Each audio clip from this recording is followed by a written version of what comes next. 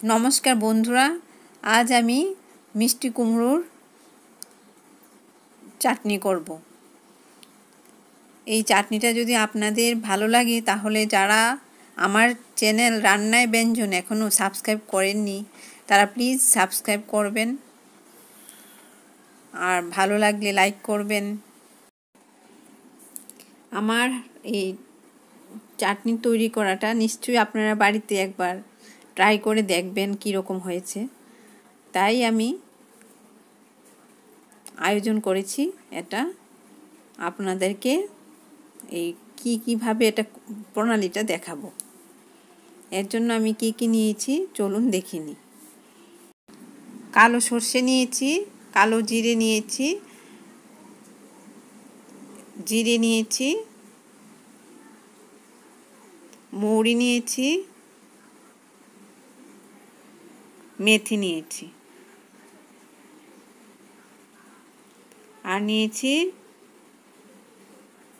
তেজপাতা, শুকনো লঙ্কা একটা।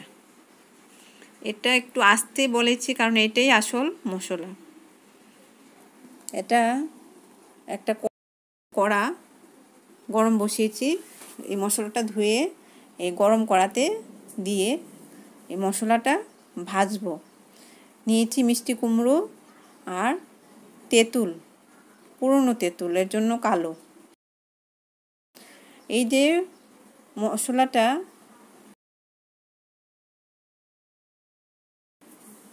ভাজা করছি, মিডিয়াম ভাজা হবে। কালো হয়ে গেলে তেতো লাগবে, সুন্দর করে সময় দিয়ে আস্তে ধীরে কম ফ্লেমে মশলাটা ভাজতে হবে। একটু দেখিয়ে দিচ্ছি সময়টা। শুকনা লঙ্কা, তেজপাতা আর পাঁচ রকমের মশলা। এটা ভাজা করে নিচ্ছি।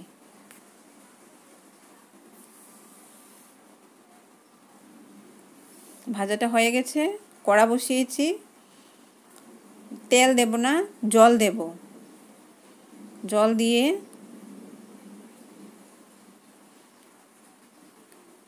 এই যে পরিষ্কার করে ধুয়ে রাখা মিষ্টি কুমড়োগুলি দিয়ে দেবো ওই জলটাতে।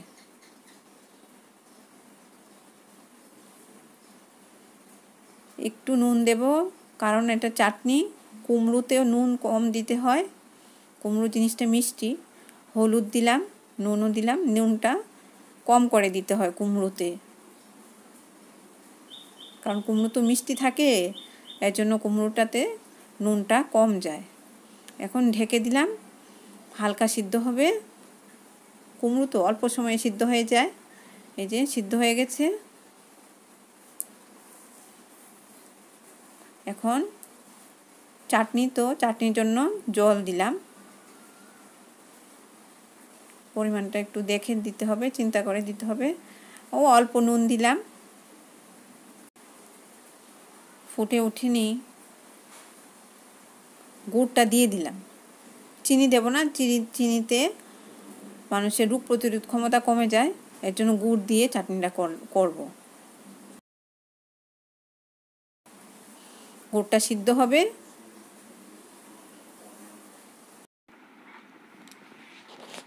এখন আমি তেঁতুল দেব, তেঁতুলটা ভিজিয়ে রেখেছিলাম, এই যে তেঁতুল জলটা দিয়ে দিলাম। পুরনো তেঁতুল।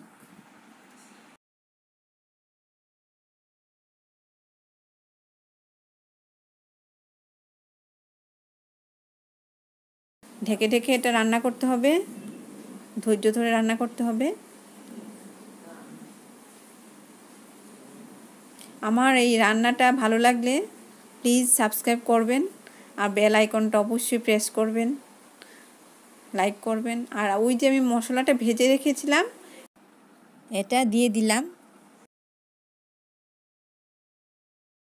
আর এমনিতে আমি তেল দিইনি ঠিকই কোনো তেলই দিইনি, কিন্তু এই মশলা যে ভাজা মশলাতে তেল আছে। তেল বেরিয়েছে। শিল নোড়ায় যখন আমি এটা পালিশ করেছি, তখন তেল বেরিয়েছে তৈরি হয়ে গেল তেঁতুল দিয়ে মিষ্টি কুমড়োর চাটনি। আমার রান্নাটা দেখার জন্য অসংখ্য ধন্যবাদ।